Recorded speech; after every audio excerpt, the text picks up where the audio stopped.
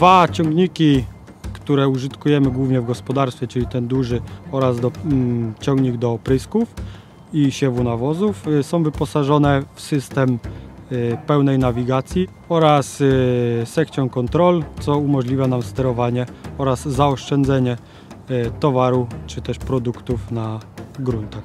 Na większych połaciach pól używamy pełnej automatyki skrętu, czyli ciągnik robi wszystko sam na nawrotach.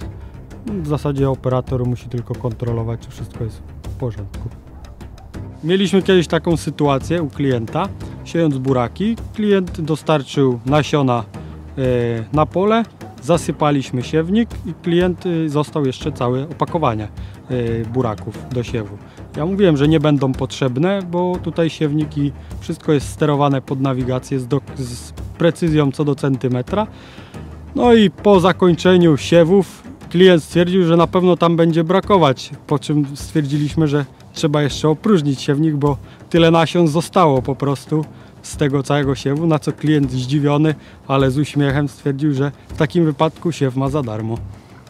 Pierwszą nawigację, którą zakupiliśmy do ciągnika, który był poprzednikiem tej nowej ósemki, yy, ogólnie twierdzę, że spłaciliśmy ją w pół sezonu, czyli oszczędność jest bardzo duża.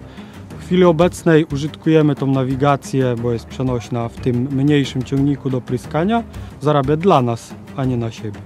Wykonując pracę u klienta, mamy możliwość udostępnienia tych danych y, klientowi poprzez y, szybkie podpięcie pendrive'a oraz zrzucenie pliku w odpowiednim formacie na, na ten nośnik i klient ma do tego dostęp oraz może wrzucić też to na swoje maszyny i później użytkować mapy czy też ścieżki, którymi my jeździliśmy wcześniej.